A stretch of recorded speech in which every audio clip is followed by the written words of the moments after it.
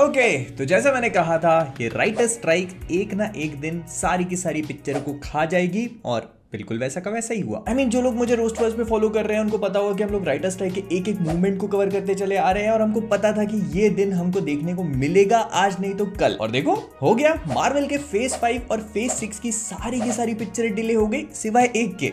क्योंकि वो अपने आप में एक्सेप्शन है। तो एक एक करके सारी पिक्चरों पे बात करना शुरू करते हैं। सबसे पहले फ़ेज़ फाइव के बारे में बात करेंगे। तो सबसे पहली पिक्चर जो फ़ेज़ फाइव में रिलीज़ होने वाली थी, वो थी captain America a brave new world जो पहले न्यू वर्ल्ड ऑर्डर थी, उसको रीनेम किया गया। एंड वो पहले रिलीज़ होने वाली थी तीन मई 2024 को, लेकिन अब उसको डिले कर दिया गया है 26 अगस्त 2024 पे। लेकिन चिंता की कोई बात नहीं है, क्योंकि तीन मई को आपको मार्वल की उससे ज़्यादा अच्छी हाईली एंटिसिपेटेड पिक्चर देखने को मिलने वाली है। क्योंकि डेडपूल 3 जो कि 8 नवंबर 2024 को रिलीज़ होने वाली थी राइटर स्ट्राइक में, जहाँ पे पिक्चर डिले होती जा रही है, वहाँ पर इसको पहले रिलीज़ कर देंगे। और थोड़ा बहुत भी नहीं, छह महीने पहले, क्योंकि अब ये आ रही है तीन मई 2024 को which is actually pretty surprising क्योंकि इस पूरी स्लेट में हम आगे जितनी भी पिक्चरों के बारे में बात करेंगे, वो सारी की सारी डिले हुई हैं, सिवाय डेडपूल के, छह महीने प्रीपोन कर दिया गया है। और देखो, सुनने में अच्छा लगता है, क्योंकि हम डेडपूल थ्री को लेकर काफ़ी एक्साइटेड है, इसमें बहुत सारी बड़ी बड़ी चीज़ें होने वाली हैं।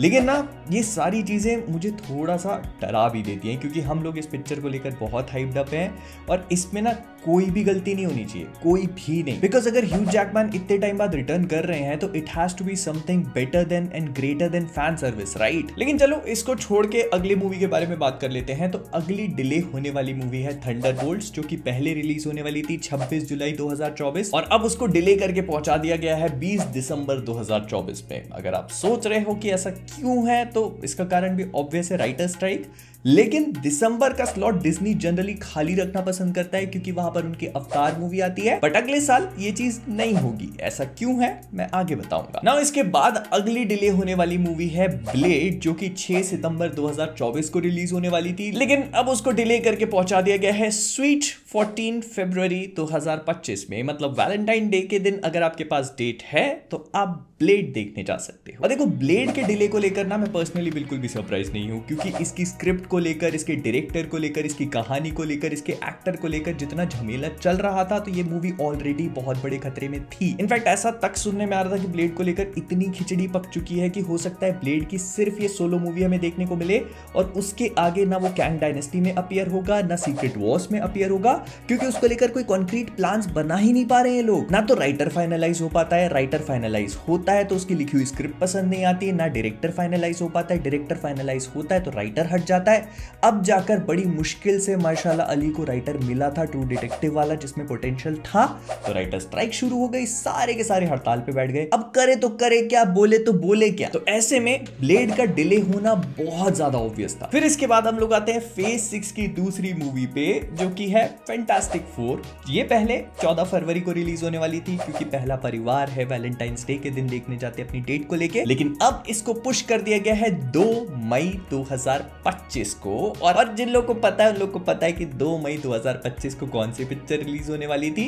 एवेंजर्स कैंग डायनेस्टी तो चिंता की कोई बात नहीं क्योंकि वो भी डिले हो फैंटास्टिक फोर ऑब्वियसली ये सारी की सारी पिक्चर है राइटर स्ट्राइक की वजह से डिले हुई है। लेकिन फैंटास्टिक फोर के साथ अभी दूसरे कर्म कांड चल रहे हैं। इन लोगों की अभी तक कास्टिंग फाइनलाइज नहीं हो पाई है। बहुत लंबे समय से हम लोग ये सुनते आ रहे हैं कि फैंटास्टिक फोर की कास्टिंग चल रही है चल रही है चल रही है। लेकिन ये लोग किसी भी फाइनल कॉन्क्रीट डिसीज़न पे नहीं पहुँच पाए। एंड फैंटास्टिक फोर एक ऐसी टीम है जो कि आने वाले मार्वल के जितने भी फेजेस है, उनमें बहुत बड़ा पार्ट प्ले करेंगे और बहुत इंपॉर्टेंट भी। इसी वजह से कास्टिंग बहुत ज़्यादा इंपॉर्टेंट हो जाती है and Marvel has to nail it down anyhow now my dear friends जो लोग ये चीज़ को लेकर परेशान थे कि अगर 2 मई 2025 को फैंटास्टिक फोर आएगी तो फिर कैंग डायनेस्टी कहाँ शिफ्ट होगी? तो कैंग डायनेस्टी पूरे एक साल आगे शिफ्ट हो चुकी है मतलब एक मई 2026 में। एंड पर्सनली अगर मेरे से पूछा जाए तो ये काफ़ी अच्छा मूव है क्योंकि इनको कैंग डायनेस्टी पे काम करने के लिए काफ़ी समय मिल जाएगा और ऐसे में ना थोड़ा सा ग्राउंड वर्क भी ले किया जा सकता है। मुझे पहले ऐसा लग रहा था कि Kang dynasty was coming out too soon और बाकी की पिक्चरों को बीत करने का रूम नहीं मिल रहा था, लेकिन अब ऐसा नहीं होगा। अब कैंग डायनेस्टी जो है वो एक मई 2026 को रिलीज़ होगी, लेकिन ये रिलीज़ डेट सीक्रेट वॉर्स की थी तो सीक्रेट वॉर्स को भी डिले कर दिया गया है पूरा एक साल जो अब रिलीज़ होगी सात मई 2027 को। लेकिन फैंटास्टिक फोर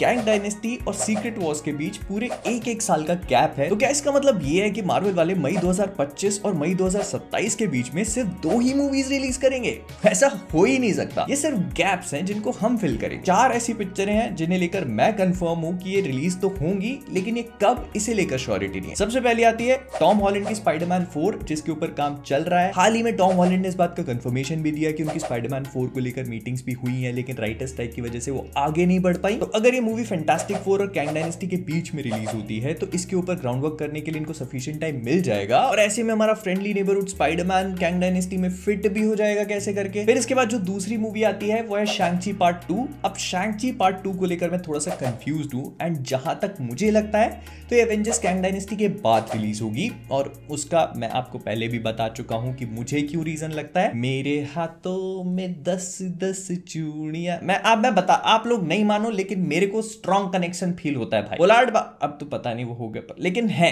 कैंग की चूड़ियाँ है वो, और इसी वजह से मुझे लगता है कि कैंग डायनेस्टी में शैंगची और उसके बीच कोई ना कोई कनेक्शन दिखाने की कोशिश करेंगे, जिस वजह से प्रोबेबली शैंगची का जो सेकंड पार्ट है, वो कैंग डायनेस्टी के बाद रिलीज़ होगा। फिर इसके बाद आता है डॉक्टर स्ट्रेंज का थर्ड पार्ट जो आई ऑल्सो थिंक कि कैंग डायनेस्टी के बाद रिलीज़ होगा। मुझे लगता है कि हमारे डाक साहब जो है, वो कैंग डायनेस्टी में अपियर नहीं होने वाले हैं, वो सीधे सीक्रेट वॉर्स में आएँगे, क्योंकि वो गए हैं क्लियर के साथ इनकर्जन को रोकने एंड कैंग डायनेस्टी में हमें नए एवेंजर्स देखने को मिलेंगे, पुराने वाले नहीं। लेकिन हाँ कैंग डायनेस्टी के पहले जो मूवी आ सकती है, वो प्रॉबेबली इटर्नल्स टू होगी। आई मीन इटर्नल्स के एंड में हमने थोड़ा सा वेग सा सीन देखा था कि वो बड़ा सा सेलेस्टियल था, वो सारे के सारे इटर्नल्स को उठा के ले जाता है। और फिर उनका क्या होता है, उसके बाद से हमको नहीं पता, लेकिन हमको ये मालूम है कि इटर्नल्स टू पे काम चल रहा है। तो हो सकता है कि इटर्नल्स टू हमको कैंग डायनेस्टी से पहले देखने को मिल जाए, सारे के सारे नए सुपर हीरोज हैं। इनको हो सकता है कि कैंग डायनेस्टी में यूज़ कर लिया जाए, लेकिन हाँ अगर ये मूवीज़ डिले हुई है तो अच्छा ही है, चाहे कारण कोई भी हो लेट देम कुक और भाई डेडपूल के साथ तो मुझे पता नहीं क्या ही कांड चल रहे हैं। डेडपूल की पिक्चर अकेली एक्सेप्शन लग डेडपूल की पिक्चर डेडपूल खुद ही बना रहा है। बट ठीक है, जो कुछ भी है, लेकिन इसके साथ ही साथ सिर्फ़ ये पिक्चरें नहीं है जो डिले हुई है। जेम्स कैमरॉन की अवतार मूवीज़ जो है, उन पे भी अच्छा खासा डिले पड़ गया है। जो अवतार थ्री थी, वो 20 दिसंबर 2024 को रिलीज़ होने वाली थी। वो डेट अब मिल चुकी है थंडर को। और इसके बदले हमें अवतार थ्री देखने मिलेगी दिसंबर 2025 अवतार फोर देखने मिलेगी दिसंबर 2029 और अवतार फाइव देखने मिलेगी दिसंबर 2031 कैमरन साहब, तब तक तो आप खुद ही हाइड्रोकाइनेसिस सीख लोगे। खैर हमें जो कुछ भी जानने को मिला है, मुझे लगता है कि टिप ऑफ़ द आइसबर्ग है। इसके बारे में और भी ज़्यादा details probably San Diego comic con में रिवील करी जाएँगी। जो अगले महीने जुलाई में टेक प्लेस करने वाला है। And personally I am kind of excited for it लेकिन इसके बारे में आपका क्या सोचना है, मुझे कमेंट्स बताना मत भूलना। तो विद दैट बीइंग सेड हम लोग इस वीडियो को यहीं पर अप करेंगे। पसंद आए तो लाइक करना शेयर करना और सब्सक्राइब करना मत भूलना। तो जान से पहले कॉमिक से मैं हूँ मोहित और आप सभी लोग एज ऑलवेज डेड बनो ब्लेड नहीं।